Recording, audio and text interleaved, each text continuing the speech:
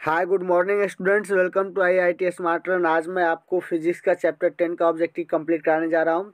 Chapter ten का नाम है तरंग प्रकाश की। यदि आप हमारे चैनल पर नए हैं तो चैनल को सब्सक्राइब ज़रूर करें और अपने दोस्तों से भी शेयर ज़रूर करें। चलिए क्वेश्चन स्टार्ट करते हैं। पहला क्वेश्चन है कि किसी बिंदुवत स्रोत से परिमित दूरी पर तरंगाग्र होता है। तो यहाँ पे जो आपका तरंगाग्र हो जाएगा, वो गोलाकार हो जाएगा, इसलिए आपका राइट ऑप्शन हो जाएगा ए चलिए नेक्स्ट क्वेश्चन देख लेते हैं कि इनमें कौन चयनात्मक अवशोषण द्वारा समतल ध्रुवित प्रकाश देता है? तो यहाँ जो आपका समतल ध्रुवित प्रकाश देता है, वो है क्वार्टर्ज क्रिस्टल और प्लोराइड। ये दोनों देता है, इसलिए आपका राइट ऑप्शन हो जाएगा सी ए और बी दोनों।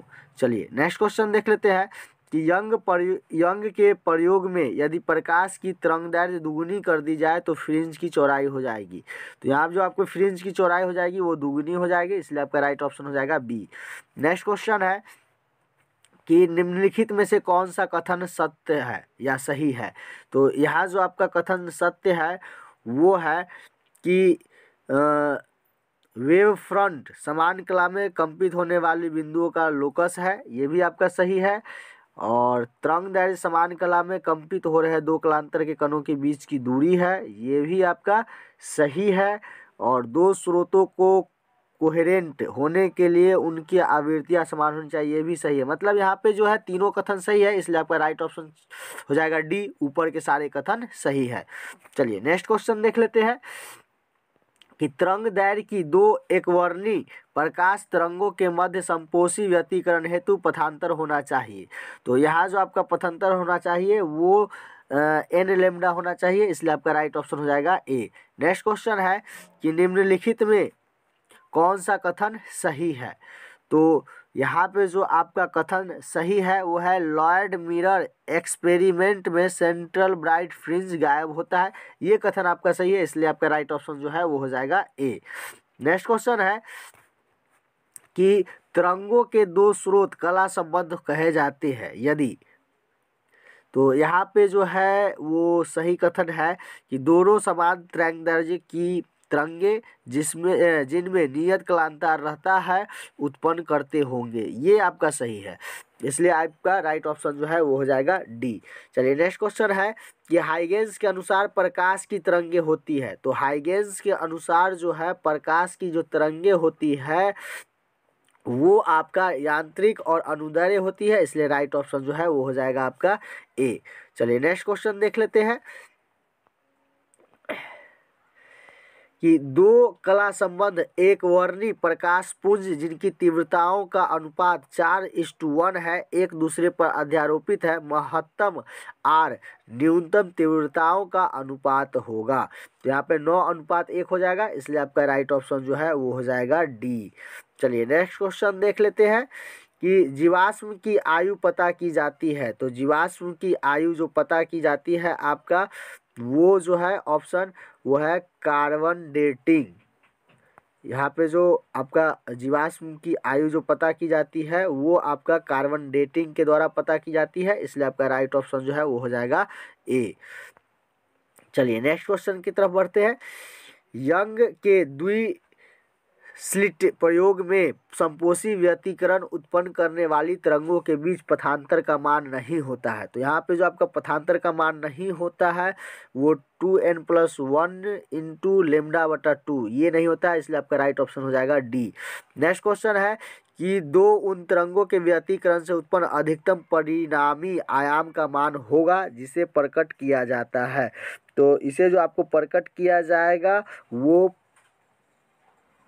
पाँच में प्रकट किया जाएगा, इसलिए आपका राइट ऑप्शन जो है वो हो जाएगा बी ठीक है? चलिए नेक्स्ट क्वेश्चन देख लेते हैं कि द्वितीयक तरंगिकाओं की अवधारणा दी थी। तो द्वितीयक तरंगिकाओं की अवधारणा जो दी गई थी, वो आपको दी गई थी हाइगेंस के द्वारा, इसलिए राइट ऑप्शन जो है वो हो जाएगा सी नेक्स्ट क्वेश्चन है कि एक पतले फ़िल्म के रंग का कारण है। तो एक पतले फ़िल्म के रंग का कारण जो है वो व्यतीकरण है, इसलिए आपका राइट ऑप्शन हो जाएगा बी चलिए नेक्स्ट क्वेश्चन देखते हैं कि प्रकाश के तरंग गति सिद्धांत के अनुसार प्रकाश के वर्ण निर्णायक है। तो प्रकाश के वर्ण जो निर्णायक है वो आवृत्ति के हैं, इसलिए आपका राइट ऑप्शन हो जाएगा सी चलिए नेक्स्ट क्वेश्चन देख लेते हैं कि दो तरंगे जिनकी तीव्रताओं का अनुपात नौ, अनुपात एक है व्यतिकरण उत्पन्न करती है, अधिकतम तथा न्यूनतम तीव्रताओं का अनुपात होगा। तो यहाँ पे जो आपका जो अनुपात हो जाएगा, वो चार अनुपात एक हो जाएगा, इसलिए राइट ऑप्शन आपका हो जाएगा सी नेक्स्ट क्वेश्चन है कि निम्नलिखित में से किस भौतिक राशि का पुनर्वितरण प्रकाश का व्यतीकरण होता है?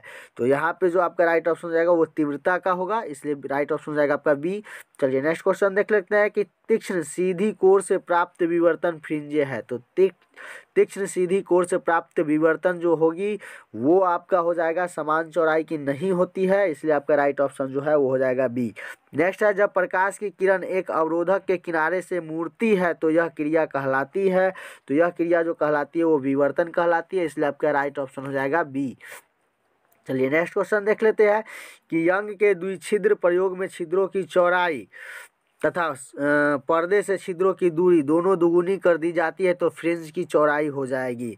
तो फ्रिंज की चौड़ाई जो हो जाएगी, वो अपरिवर्तित रहेगी, नहीं बदलेगी, इसलिए आपका राइट ऑप्शन हो जाएगा सी नेक्स्ट क्वेश्चन है, यंग के द्विक रेखा छिद्र प्रयोग में स्लीटों के बीच अंतराल, आधा एवं स्लिट व पर्दे के बीच की दूरी दुगुनी करने पर फ्रिंजों की चौड़ाई होगी।